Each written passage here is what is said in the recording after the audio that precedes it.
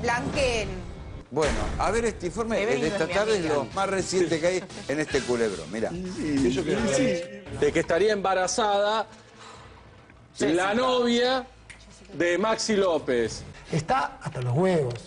Jessica Vela. Por esa razón ese habrá sido, fue el motivo que Wanda Nara tomó la determinación tan abruptamente de venirse a Buenos Aires. Marcelo, estoy temblando porque no, no, me- la emoción que la quiero ver ya. Te digo, acá están los mensajes al rojo vivo y de hecho Gianni recibió una confirmación. Sí, cuando vos contaste la historia, le pregunté de derecho, le dije, Monti acaba de largar esto al aire, que ¿Y? es el rumor, y ¿A me dijo, sí. ¿Y qué la te ¿Y qué te y qué contestó. Wanda? Me enteré de eso, por eso me separé y por eso me vine para Señor, acá. está confirmado entonces que la novia de Maxi López está embarazada. Se pudrió todo. Buah. Ella se entera ya, pero se lo contó alguien de acá. También.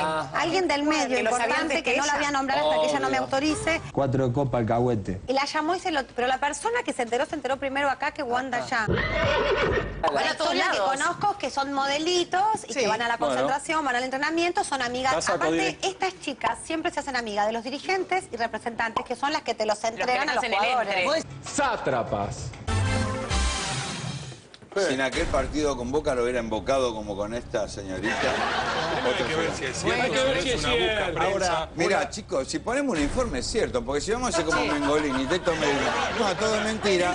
Cerramos el programa acá. No, no, se puede debatir, ¿no?